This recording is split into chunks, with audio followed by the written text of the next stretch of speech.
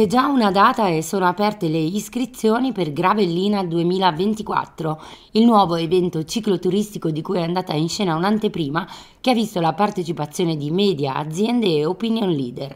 Il 21 e 22 settembre la Valtellina si aprirà così al pubblico del gravel, con percorsi che seguono le strade rurali dove la valle coltiva e produce i suoi prodotti più noti, come i vini e le mele, e più tradizionali come la segale e il grano saraceno. Le vie, che oggi come un secolo fa sono il manifesto del rapporto tra uomo e natura, qui in relazione e in equilibrio. Gravellina 2024 si svolgerà nel corso di un intero fine settimana di settembre e sarà aperto a tutti a seconda delle proprie capacità. L'evento cicloturistico proporrà diversi percorsi, duri per chi vuole sfidare le salite tra i terrazzamenti della viticoltura eroica, oppure più rilassati e con meno dislivello per chi preferisce rimanere più ancorato al fondovalle entrambi resi unici dall'ampio spazio all'enogastronomia che proprio in questi territori trova origine e piena capacità di espressione.